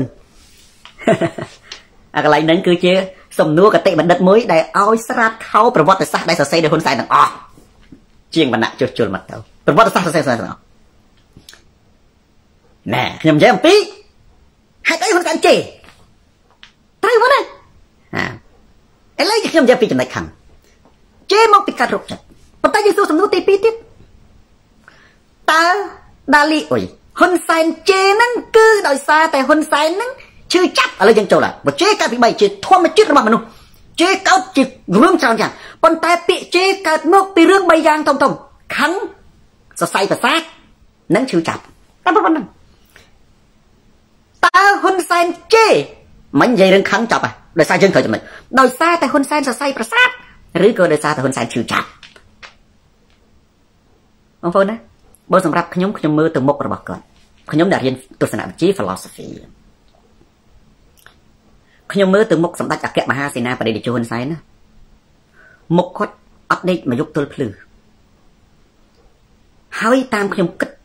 ខ្ញុំមើលទៅរឹងតម្រង់ទឹកមុខរបស់គាត់ដែលអត់ សំបីតែពន្លឺភ្លើងកាមេរ៉ាខំជួយស្បែកមុខគាត់គឺគេហៅថាស្បែកងាប់បើយោងតាមវិទ្យាសាស្ត្រសុខាភិបាលសួងឈៀនស្រិនកងណាស្បែកងាប់មានន័យថាឈាមអត់គ្រប់ឈាមអត់គ្រប់គាត់អាចមានជំងឺ stroke ប៉ុន្តែការពារខ្លាច់ដួលកណាដួលអាចស្លាប់មកជំហានខ្លួនបេះដូងរបស់គាត់ច្បាច់បញ្ជូនឈាម ទៅខួរក្បាលនិងរាងកាយអត់បានល្អអញ្ចឹងបេះដូងគាត់ទំនងមិនស្រួលដាក់ថ្មឬក៏ដាក់ខ្សែអគិសនីគេហៅថាសរសៃឈាមសបនិមិត្តណាមកគាត់នេះខ្ញុំនិយាយនេះនៅក្នុងនេះជម្រាបសួរលោកគ្រូពេទ្យច្បាស់ក្នុងនេះបើមិនមានលោកគ្រូពេទ្យក៏មាននិស្សិតពេទ្យដែរព្រោះសូនតារានេះនិស្សិតពេទ្យនិស្សិតកុំព្យូទ័រ technology ផ្នែកផ្នែកគំនិតនិងវិទ្យាសាស្ត្រនយោបាយនេះទទួលស្គាល់សូនតារាជាគ្រូ ដែលមានសុខហើយបងប្អូនខ្ញុំនិយាយនេះខ្ញុំសំដៅបងប្អូនណារៀនពេទ្យដឹងថាសូនតារានិយាយត្រូវអាហ្នឹងខ្ញុំអត់ដឹងទេគាត់ថាមានអ្នកដាវីដាកឹមបាទអ្នកដែលដឹងថាសូនតារានិយាយត្រូវគឺនិស្សិតពេទ្យខ្ញុំនិយាយទៅនេះនឹងខ្លួនឯងនឹងហ៊ុនសែនខ្លួនឯងផ្ទាល់ដឹងថាចំអានេះវាដឹងតែអញដាក់ថ្មបេះដូងណាវាដឹងតែអញហ្នឹងដាក់ចាក់សរសៃវះសរសៃបេះដូងដើម្បីឲ្យហូរឈាមទេមិនបានវាដឹងហេសូនតារាហ៊ុនសែនលើកដើរបាត់ហើយសូនតារានៅក្នុងនេះមានណាមាននិស្សិតពេទ្យឬក៏ធ្លាប់មានបងប្អូន ដែលជួបបញ្ហាដាក់ថ្មបេះដូងឬក៏វះសរសៃឯងវីមុតលីវះសរសៃដាក់បើមានបងប្អូននឹងប្រាប់ថាត្រូវហើយលោកគ្រូត្រូវហើយលោកគ្រូអឺពាក្យថាត្រូវហើយលោកគ្រូមានន័យថាបេះដូងរបស់ហ៊ុនសែនមិនស្រួលដាក់ថ្មបងណាហើយសរសៃវ៉ៃសរសៃឈាមរបស់ហ៊ុនសែនមិនស្រួលសរសៃជ័រទេដើម្បីបញ្ជូនឈាមឲ្យពួកគាត់នេះគាត់អាចបញ្ជូនឈាមអត់ទៅដល់ពេញរាងកាយទេហើយបងប្អូនណាខួរក្បាលយើងត្រូវការជាតិឈាមខ្លាំងណាស់ បើកណាបេះដូងអត់បញ្ជូនឈាមទៅកាន់ខួរក្បាលគ្រប់គ្រាន់ធ្វើឲ្យមនុស្សនឹងคล้ายទៅជាមនុស្សច្រឡោតតោតតូងឆេវឆាវខឹងជេរបចៅបាត់ណាបាត់នេះខ្ញុំមើលទៅសម្ដេចណែហុងឆៃលី គឺប្រហែលជាឈាមរត់អត់ដល់ខួរក្បាលមនុស្សសរសៃប្រសាទគេអាចសម្គាល់តាមរយៈ3យ៉ាងហើយខ្ញុំនិយាយនេះសិតតែជាអំណាចអំណាងវិទ្យាសាស្ត្រដែលបងប្អូនអាចចាត់ទុកទូរទស្សន៍សន្តារាជាសកលវិទ្យាល័យនយោបាយមួយ ជាសកលវិទ្យាល័យចំណេះដឹងទូទៅមួយគេសម្គាល់តាមរយៈទឹកមុខស្បែកស្បែកហ៊ុនសែនសរសៃប្រសាទគេសម្គាល់តាមរយៈកាយវិការកាយវិការហ៊ុនសែនបងប្អូនដែលឃើញមនុស្សខឹងកាយវិការនេះមើលប្រសងអត់ខឹងកាយវិការចេះថាមនុស្សយើងអត់ខឹងមនុស្សពេលខឹងកាយវិការច្រងែងច្រងាងខ្មែរហៅកាយវិការច្រងែងច្រងាងលុតកឆេងអាឡូនសូឡូហ៊ុនសែនកាយវិការគាត់ច្រងែងច្រងាងច្រឡោតខាម លុតកឆេងជាកាយវិការមនុស្សសរសៃប្រសាទបងប្អូនអានេះចិត្តសាស្ត្រណាចិត្តវិទ្យាណាទី3ពាក្យសម្ដីបងប្អូនមើលពាក្យសម្ដីសូនារាមើលស្ដាប់ទៅឲ្យពីរោះបងប្អូនយើងខ្លះក៏ថាដូចស៊ីនស៊ីសមុទ្របងប្អូនខ្លះក៏ថាចំនួនស៊ីនស៊ីសមុទ្របានក៏មិនមែនច្រៀងនេះស្ដាប់បងប្អូនខ្លះថាមិនបានស្ដាប់លោកគ្រូមួយថ្ងៃធ្វើការអត់កើតទេបងប្អូនខ្លះធ្វើការបដើណាកំពុងតែជិះឡានបានសូនារាហ្នឹងដល់ផ្ទះអត់ហ៊ានជិះទេណានៅចូលវិលជុំវិញសិនជិះទៅខ្លាចបិទឡានចុះទៅពិបាក ជួបគេជួបឯងទៅលែងបានស្ដាប់ក្នុងនេះនិយាយសង្ស័យបងប្អូនខ្លះនិយាយចំទៅទៅតាក់ទ្រូងទៅដឹងណាបើឲ្យកាន់កាមេរ៉ាមាននឹងនឹងអត់ណាប្រយ័ត្នមានបងប្អូនខ្លះជិះឡានអត់ចង់ចូលផ្ទះណាជាពិសេសអ្នកអាមេរិកអ្នកស្រុកបារាំងគាត់មកវាធ្វើការឬក៏គាត់ទៅធ្វើការតន់ដល់ម៉ោងផងបកាច់យកដល់កន្លែងណាដល់កន្លែងធ្វើការចូលស្ដាប់សូនរាមហីបើនិយាយដាក់ទូរស័ព្ទងោកងោកងោកបើអ្នកមានកាសគេដាក់កាសទៅនេះនេះស្ដាប់សូនរាបដើវាយនំបដើអញ្ចឹងទៅស្ដាប់សូនរាបដើហ្នឹងនេះធ្វើការក្នុងកុំព្យូទ័របដើទៅប៉ុន្តែមានបងប្អូនខ្លះក៏បានយកកាសមកចំមកកន្លែង មិនដឹងជាចេញមិនបានចូលស្ដាប់សូនរាល្អមើលជាងរឿងភាគឥណ្ឌាទៅទៀតនេះជិះកវែលជុំវិញផ្ទះចង្កាប្រពន្ធឃើញឡានកូននឹងឃើញឡានឆ្ងល់ប៉ាប៉ាឡានប៉ាប៉ាមិនព្រមចូលផ្ទះដល់ម្ដាយក៏ដឹងចូលផ្ទះណាកូនម៉ោងម៉ោងសូនរាផ្សាយផ្ទាល់ឪឯងទៅចូលផ្ទះកូនឯងញ៉ែញុកឡើងជិះឡើងជន់ខ្នងហ្នឹងឡើងជិះឡើងជន់ខ្នងហ្នឹងមិត្តណាំវាស្ដាប់សូនរាមិនបានតាតិចទៀតចប់ប៉ាប៉ាចូលផ្ទះឲ្យកូនដល់តែមកមែនម៉ែសាកសួរមើលនេះចៅឪវាឲ្យឃើញជិះឡានកាត់ទៅនឹង2 3ដងទៅបាត់មកទៅទុះចេញមកវិញណា អាមិនកូនព្រមចូលផ្ទះទៅរត់ទិញស្អីមកវិញខ្លួនខ្លួនទេចូលផ្ទះទៅខ្លាចកូនវាបានស្ដាប់សូនរាកំពុងតែប្រោះផងម្នេះជក់អារម្មណ៍សបាយនោះសបាយស្រាប់តែយើងចូលមកដល់នេះអាតូចអាល្អិតនេះវាចាប់ទាញសក់វាច្រឡំជីកកវាទាញទូរស័ព្ទទាហ្គេមវាយំលឺជាងគ្រូសូនរាអញ្ចឹងបានឯងនឹងណាចង់ស្ដាប់លោកគ្រូឲ្យចប់សិនបានរត់ចូលមកមានណាមានន័យថាម៉េចមានន័យថាសម្ដីសូនរាពិរោះកើតជាបញ្ញាតែស្ដាប់សូនរាកើតបញ្ញាពិរោះកើតជាបញ្ញា ប្រោះព្រំធ្វើឲ្យមនុស្សនឹងរីកចម្រើនខួរក្បាលសបាយស្ដាប់ហ៊ុនសែនកើតរកចិត្តបងប្អូនអ្នកខ្លះទ្រាំបានអ្នកខ្លះណាកុំថាឡើយឃើញមុខហ៊ុនសែនដាលីអុយគ្រាន់តែលឺសំឡេងហ៊ុនសែនចង់គប់ទូរស័ព្ទចោលនឹងខ្លួនណាសັບតគប់អញអញច្រឡំបាត់ទូរស័ព្ទទៅណាអូអញគប់ចោលតាមប្អួចមិនចឹងទៅរើសមកវិញបែកបាត់មិនហ៊ុនសែនស្ដាប់ហ៊ុនសែនកើតរុកចិត្តមកកើតរុកចិត្តដោយសារតែហ៊ុនសែនគាត់សរសៃប្រសាទសំឡេងរបស់ហ៊ុនសែនណាគឺជាសំឡេងមនុស្សសរសៃប្រសាទមនុ ស្សសរសៃប្រសាទគេសម្គាល់ដោយ3ហ្នឹងស្បែកទឹកមុខកាយវិការនិងភាសាភាសាហ៊ុនសែនអត់មានចំណុចណាដែលថាគាត់ជាមនុស្សជាសោះយិនកើតនិយាយនឹងមានបងប្អូនចិត្តសោចបងគ្នាសោចខ្លះសោចនឹងអាលុះធ្លាក់ទូរស័ព្ទពីក្នុងឡានទៅទៀតណាតែ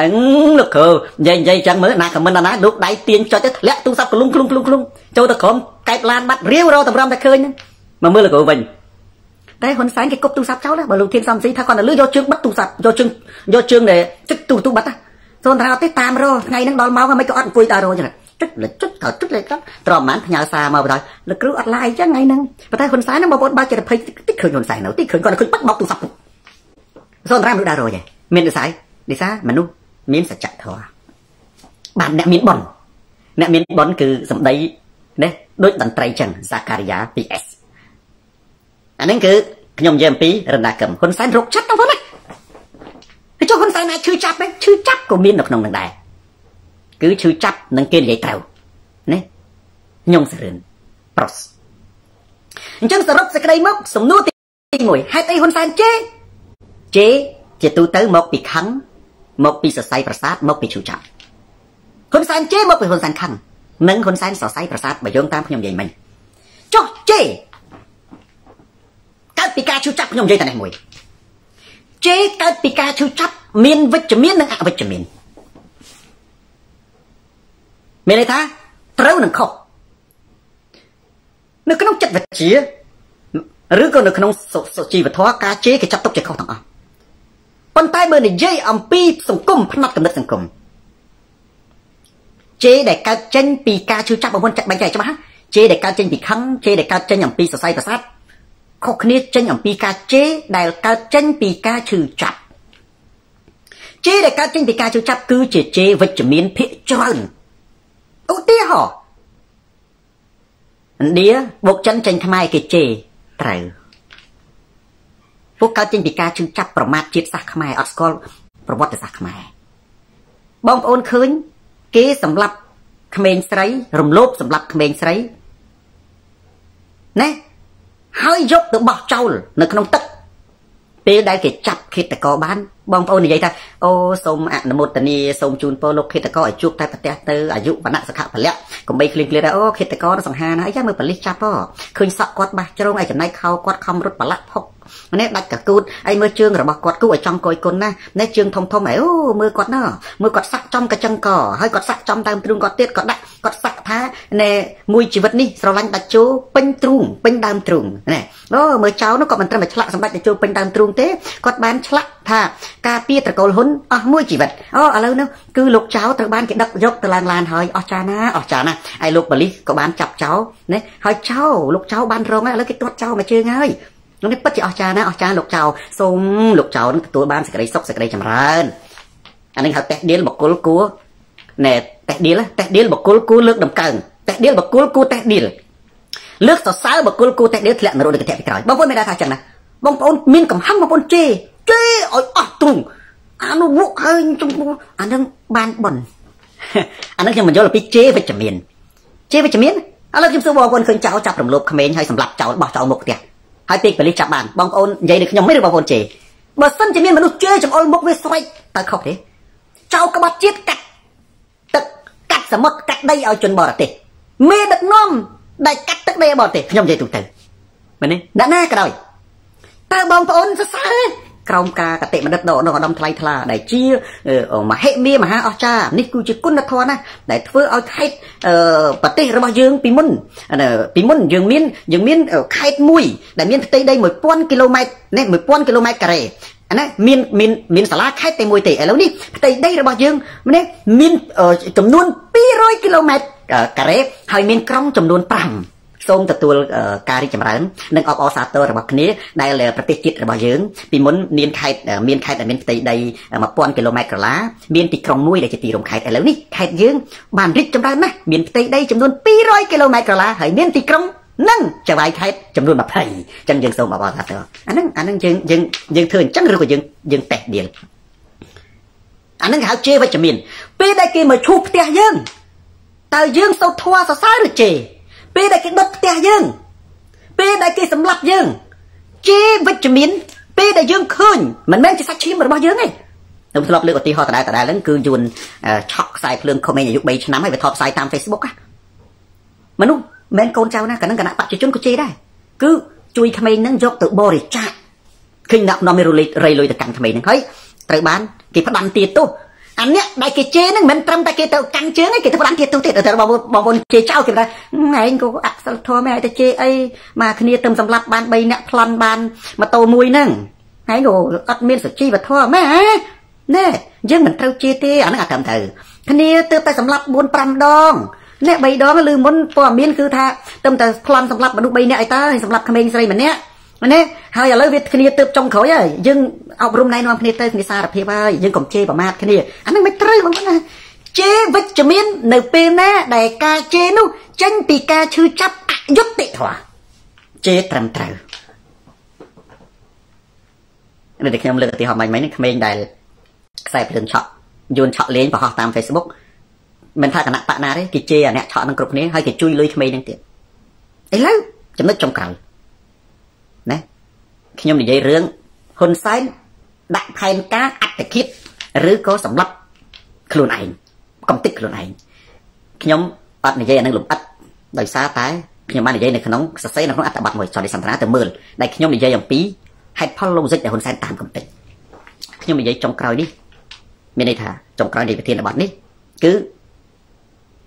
ខ្ញុំឲ្យគណៈបកប្រជាជននិងអ្នកវិទ្យាសាស្ត្រនយោបាយណាលើកបង្ហាញហេតុផលថាខ្ញុំនិយាយខុសខណ្ឌចិត្ត ហ៊ុនសែនគាត់តែងតែប្រកាសតាមកំតិចហើយខ្ញុំប្រាប់បងប្អូននៅទូទាំងពិភពលោកឲ្យមុតនភាពនឹងសារកំតិចរបស់ហ៊ុនសែនឲ្យសប្បាយចិត្តពីព្រោះហ៊ុនសែនមិនដែលកំតិចអ្នកដែលអន់នឹងចាញ់គាត់ទេបងប្អូនត្រូវមុតនភាពអត់ត្រូវក្តៅកាហាយទេណាខ្ញុំធ្លាប់និយាយរឿងនឹងម្ដងថាហេបើយើងមោទនភាពយើងឈ្នះហេតុអីបានជាហ៊ុនសែន កំតិចយើងបានបើបើលោកគ្រូថាមោទនភាពពីហ៊ុនសែនតាមកំតិចខ្ញុំថាបើហ៊ុនសែនកំតិចបានហេតុអីបានជាគាត់នៅតាមកំតិចតាមកំតិចមានថាកំតិចមិនទាន់បានឧទាហរណ៍បងប្អូនដែលឃើញគេតាមចាប់មនុស្សបើកណាគេនិយាយថាកំពុងតែតាមចាប់មានន័យថាចាប់អត់ទាន់បានស៊ីណារ៉ាមិនចឹងអ្នកណាអ្នកណាបកស្រាយគេថាគេកំពុងតាមចាប់កំពុងតែតាមចាប់វាខុសពីចាប់បានមានន័យថាចាប់មិនទាន់បានបើកណាគេនិយាយថាកំពុងតែតាមសម្លាប់មានន័យថាសម្លាប់មិនបាន គេនិយាយថាកំពុងតែតាមកំតិចសុផលសៀងកំតិចមិនបាន ហើយតាមច្បាប់ធម្មជាតិការពិតណាបើកាលណា អ្នកឯងតាមកំតិចគេ ពេលដែលទុនដៃគេនឹងកំតិចវិញអានេះនិយាយច្បាប់ធម្មជាតិទេឧទាហរណ៍ដូចបដាល់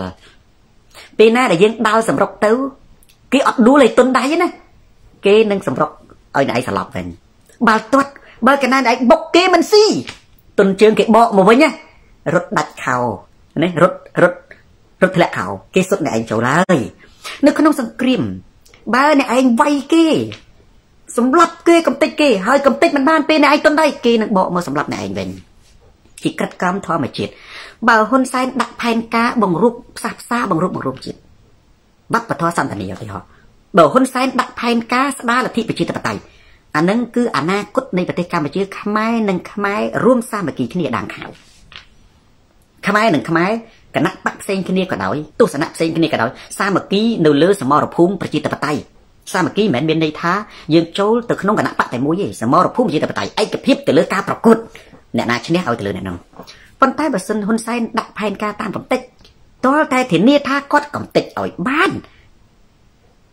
បើសិនជា ការសម្លាប់មនុស្សនិងការកំទេចមនុស្សគឺជាជ័យជំនះម្លេះអាពតមិនវិនិច្ឆ័យទេ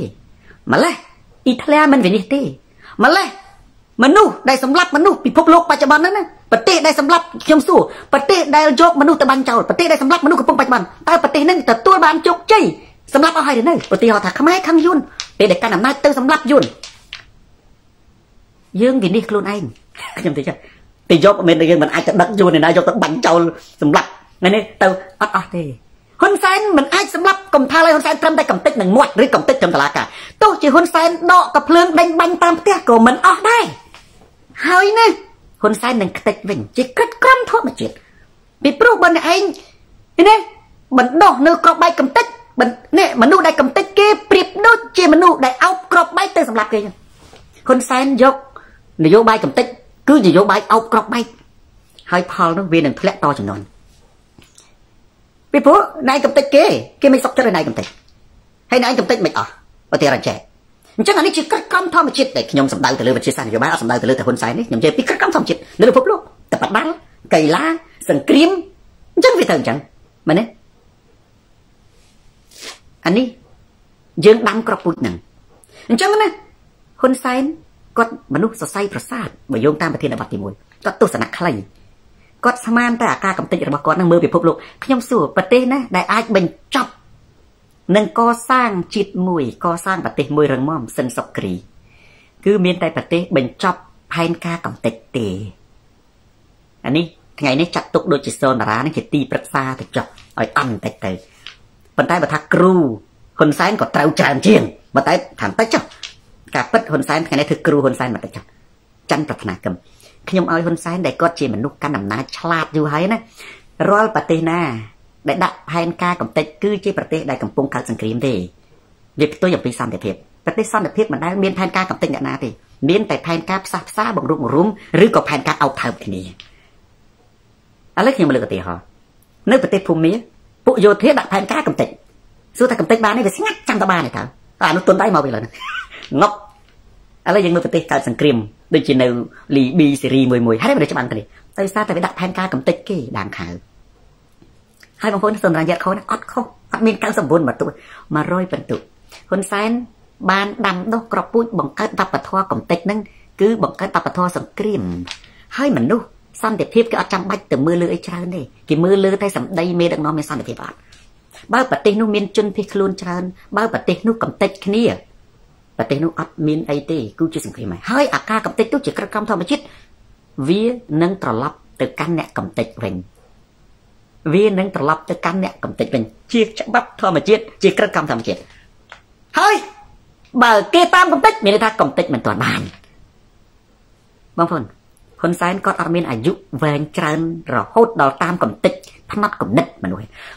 ហើយអ្នកដែលបកកាយកំទេចជាងគេណា ចំនួនរាជានិយមកាលពី5000 1500ឆ្នាំមុនសេនាយកវណ្ណាសានមិនត្រឹមកំទេចស្មើហ៊ុនសែនទេគេថែមទាំងយកមនុស្សទៅវាយចោលទាំងពូជទៅសម្រាប់ទាំងពូជនៅជំនាន់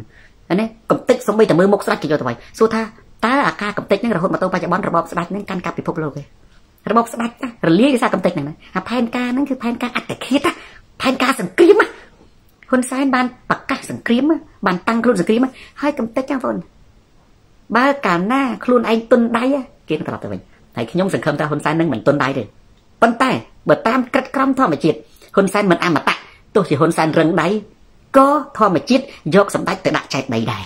ពេលហ្នឹងមិនគ្មានណាអាចធានាថានៅក្នុងប្រទេសកម្ពុជាគ្មានកូនខ្មែរណាដែលនៅក្រាបក្រោមបាតជើងរបស់ក្រុមគ្រួសារតកូលហ៊ុនជន់ជារៀងរហូតទេមិនអាចទេបើមានរូបមន្តនឹងពិតប្រកបមែនម្លេះមិនមែនរបបប្រជានិយមនៅក្នុងពិភពលោកត្រូវដួលរលំទេ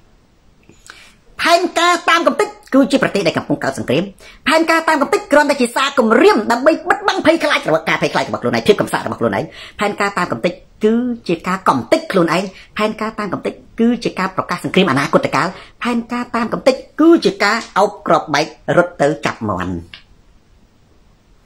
វានឹងត្រឡប់ទៅ